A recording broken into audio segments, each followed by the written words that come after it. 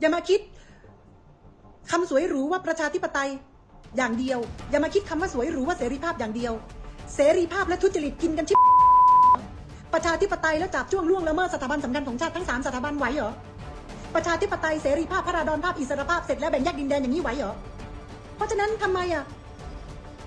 ไม่ต้องไปถึงพบตรหรอกถ้าเกิดฉันมีอำนาจฉันก็ปฏิวัติ ถ้าเกิดฉันมีรถถังฉันจะขับไปเองเลย เหยียบหัวแตกเลย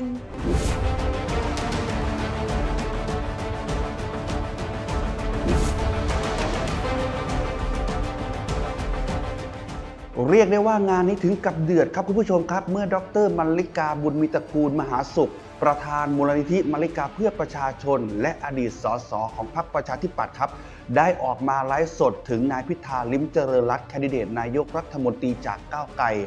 กับนายธนาธรจึงรุ่งเรืองกิจหัวหน้าคณะก้าวหน้า บอกประเทศไม่ใช่ของคุณสองคน ลั่นถ้ามีอำนาจก็จะปฏิวัติ จะเดือดแค่ไหนเป็นอย่างไร เดี๋ยวเราไปฟังจากคลิปนี้กันครับ อย่ามาคิดคำสวยหรูว่าประชาธิปไตย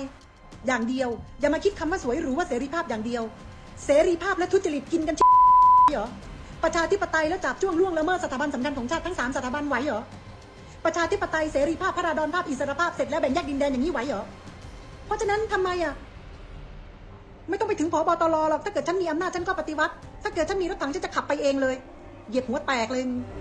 จินตนาการใครเนี่ยจะจินตนาการเรื่องอะไรก็จินตนาการได้ ใครจะมีความคิดเรื่องอะไรก็เสรีภาพคิดได้ ใครจะฝันเรื่องอะไรก็ฝันได้ ใครจะหวังเรื่องอะไรก็หวังได้ แต่จะคิดแบ่งแยกดินแดนออกไปไม่ได้ แต่จะทำกิจกรรมเพื่อสอบถามว่าจะแบ่งแยกดินแดนนะไม่ได้ แต่จะพากันไปแบ่งแยกดินแดนไม่ได้ชั้นใดก็ชั้นนั้น เหมือนกันกับกรณีที่ว่าประเทศนี้มีมาตรา1นึเพื่อที่จะคุ้มครองสถาบันสำคัญของชาติ คุณจะไปแก้ไขและยกเลิกไม่ได้ คุณจะฝันฝันได้ คุณจะเสรีภาพได้ คุณจะวิจารณ์วิจัยได้ คุณจะล่วงละเมิดจับจ้วง อันนั้นก็โดนคดี แต่ถ้าเกิดคุณวิจารณ์วิจัยได้ คุณจะวิชาการได้ ฉันเห็นวิชาการกันมาโดยตลอดเลย อภิปรายในสภานั่นก็โอ้โหวิจารณ์วิจัย สถาบันใหญ่โตโอโถง เพราะฉะนั้นสองเรื่องแล้วนะที่เขาไม่ไว้วางใจคุณ ส่วนเรื่องที่สามเรื่องอะไร เรื่องที่สามก็คือพาให้สังคมแตกแยก คุณรู้ไหม กรณีของการพาให้สังคมแตกแยก เคยเป็นหนึ่งในข้อหาที่ทักษิณเคยโดนปฏิวัติเมื่อปี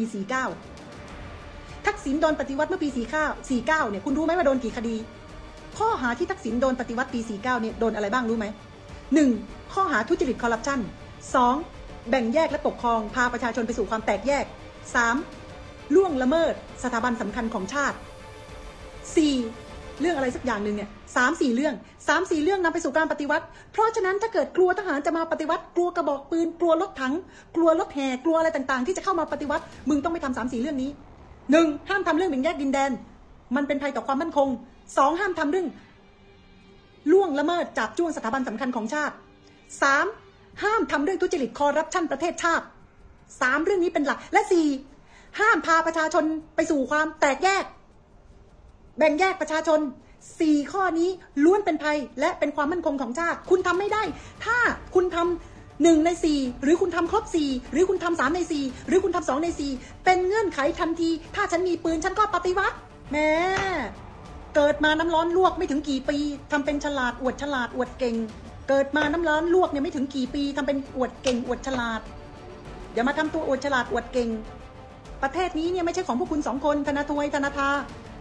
ธนาทวยกับธนาคา ประเทศนี้ไม่ใช่ของมึงของคนฉันก็บอกก่อนเลยนะ แม้มันทำเป็นฉลาดอยู่ฝ่ายเดียวทำเป็นฉลาดอยู่คนเดียว เวลาฉลาดอย่าเสลอ ฉลาดด้วยแล้วก็อย่าเสลอด้วยบางทีอะเห็นเสลอหลายเรื่องเลย เสื้อซ่อมหมดเลยแล้วยังไง ปัจจัยมีหลายอย่างมากหนึ่งเบื่อที่นายกอยู่มาแล้วแปดปี มันก็เบื่อจริงๆอะคนเราเห็นหน้าคนซ้ำๆแปดปีบางทีมันก็เบื่อ บางทีเนี่ยนะผัวเมียกันเจ็ดปีมันก็เบื่อแล้วเลิกกันแล้ว บางทีไม่ทันสองปีมันก็เบื่อแล้วเลิกแล้ว บางทีสี่ปีมีลูกด้วยกันสองคนมันยังเลิกเลย ขนาดผัวเมียกันมันยังเบื่อกันเลย คนเห็นหน้านายกบูลลี่ทุกวัน นะ คนมันก็เบื่อบ้างเป็นธรรมดาหนึ่งเลือกใครก็ได้ ตามกระแส เพราะความเบื่อนายกคนเดิม อันนี้ข้อที่หนึ่งข้อที่สองเลือกเพราะว่านโยบายพักสามร้อยข้อของพักก้าวไกล โดยเฉพาะนโยบายสวัสดิการนิยมทั้งหลายหนึ่งสามสี่ห้าหกเจ็ดแปดเก้าซึ่งนโยบายทั้งหมดทำไม่ได้สักเรื่องหนึ่ง แต่กาไปแล้ว ข้อที่สามเลือกเพราะพิธาหน้าตาดีและดูฉลาดน่าจะเป็นผู้นำรุ่นรุ่นใหม่ที่ดีได้ เลือกเพราะเชื่อว่าพิธาจะดีสามข้อเป็นหลักๆเลยเซเลบริตี้ดาราทั้งหลายเนี่ยใช่ทั้งนั้น เลือกเพราะพิธามีการศึกษาดีหน้าตาดีน่าจะเป็นผู้นำคนรุ่นใหม่แล้วคอมพมายและพูดดีด้วย ในที่สุดแล้วโอ้โหเราเนี่ยจับโกหกพิธาได้ตั้งแต่เรื่องเกี่ยวกับการกลับมาประเทศไทยตอนที่พ่อตายแล้ว เป็นผู้นำเราต้องไปโกหกเขาไปหัดโกหกตั้งแต่ต้นทำไมล่ะ เอ้ยเขาถึงเรียกพิธาคีโอไง แล้วนี่โกหกไม่รู้กี่เรื่องนโยบายก็โกหกประวัติตัวเองก็โกหกประวัติบริษัทยังโกหกอีก นี่คนเขาสงสัยไงนึกออกไหมที่พี่นั่งพูดอยู่เนี่ยคนเขาสงสัย ก็เป็นปุจฉาวิปัสนาทั้งนั้นน่ะใช่ไหมโอ้ยไอโอเลิกทำงานได้แล้ว เขียนอยู่นั่นแหละสอบตกสอบตกกูรู้แล้วน่ะแหม้จริง ๆเลย ไม่ต้องไปเขียนซ้ำจะไปเขียนซ้ำทำไมล่ะ คนเขารู้กันทั้งประเทศน่ะ